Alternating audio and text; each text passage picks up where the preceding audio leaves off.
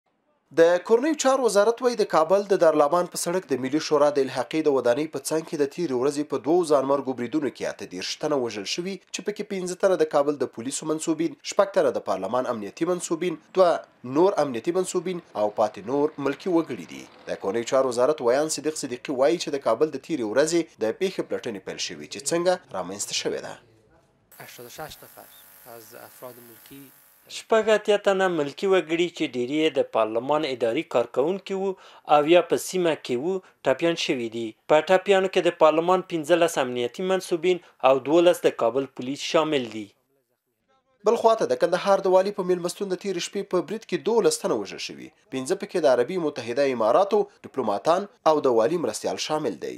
په دې پېښه کې څوارلس تنه ټپیان شوي دي. د ولسمشرۍ ماڼۍ وايي، ولسمشر غني د اماراتو د دولت له رئیس سره خواخوږي څرګنده کړې ده. ولسمشرۍ ماڼۍ وايي، د کندهار د والي په مېلمستون د پېښې پلټنه کوي.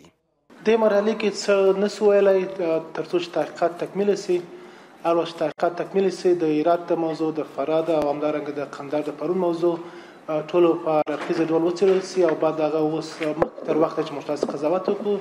د کابل د پېښې اووه پنځوس ټپیان د استقلال روغتون ته وړل شوي دي. په دې روغتون کې د تېرې ورځې د پېښې ځینې ټپیان داسې وايي. بس دای خدا. د خدای په خاطر ولې په سپین ږیرو او ماشومانو بریدونه کوئ؟ په دغه روغتون کې د ټپیانو په سلګونو خپلوان راغونډ شوي وو، ځینو داسې ویل.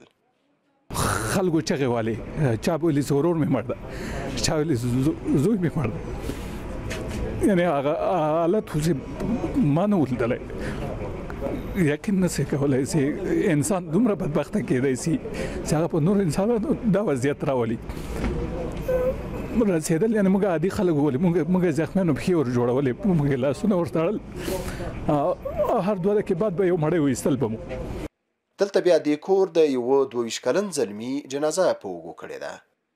نتیجه هم ټول د حکومت د ضعف او د استخباراتو ضعف ده ځکه د ښار امنیت نه شي نیولی.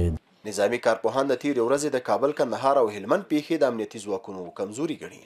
د پارلمان مخکې د بهترین منطقې په مخ کې ده داسې حالت پېښېږي چې هلته لوی ترین تلفات وي. پس د دې مانا چه ده؟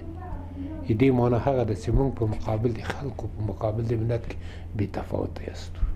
له افغان چارواکو ور اخوا یوناما د امریکا سفارت او د ځینو هېوادونو سیاسي استازولیو د کابل او کندهار بریدونه غندلي دي. د یوناما د بشري حقونو د څانګې د راپور په اساس د دوه زره او شپاړس میلادي کال د جنورۍ له لومړۍ نېټې د همدې کال د سپټمبر تر دېرشمې اته زره او درې سوه او اووه نوي ملکي وګړو ته مرګ ژوبله اوښتې، دوه زره او پنځه سوه او دوه شپېته ملکي وګړي وژل شوي او پنځه زره او اته سوه او پنځه دېرش نور ټپیان شوي. چې دا د وړم کال د همدې مودې په پرتله یوه سلنه زیاتوالی ښيي. رحیم ګل څاروان، اشنا تلویزیون، کابل.